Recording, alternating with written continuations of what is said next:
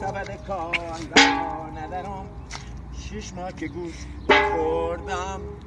ما این شرایطی که داریم اول باید خدا رو شکر کنیم که هست. چند سال اینجا زندگی می‌کنی؟ هفت سال کف بیابونی. یه جورایی مثلا مثل شاید وقتش رسیده. تو بری از خاطرم از احساسم بگذرم. قبول کنم چی شده.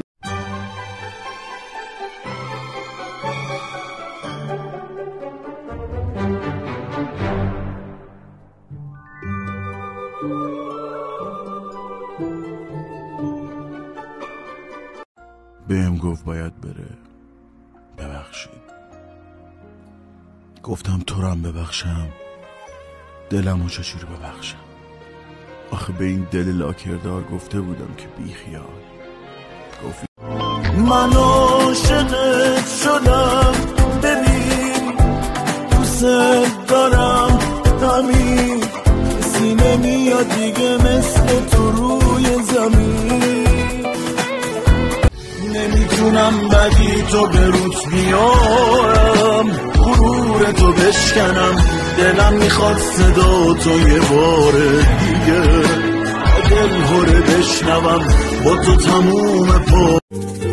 تهرون و با دود و دمش با برف و بارون کمش. پشت ترافیک موندنش به خاطر جستجوی تو بر درگاه کوه میگریم. در آستانه دریا و علف.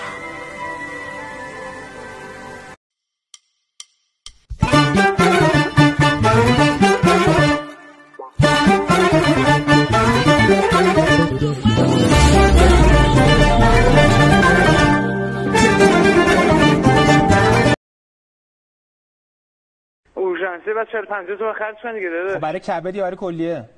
کلیه. کبد؟ هم میره همون قیمتی. یه موقع میره کبد داریم 400 میلیون.